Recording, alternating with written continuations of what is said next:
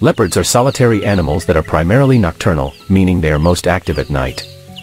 They prefer to sleep during the day to avoid the heat and conserve energy.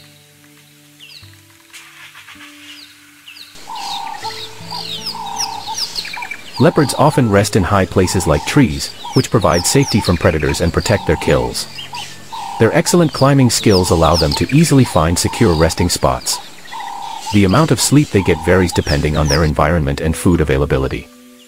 On average, leopards can sleep between 12 and 15 hours a day. When not hunting, resting helps them conserve energy for intense activities like hunting and defending their territory.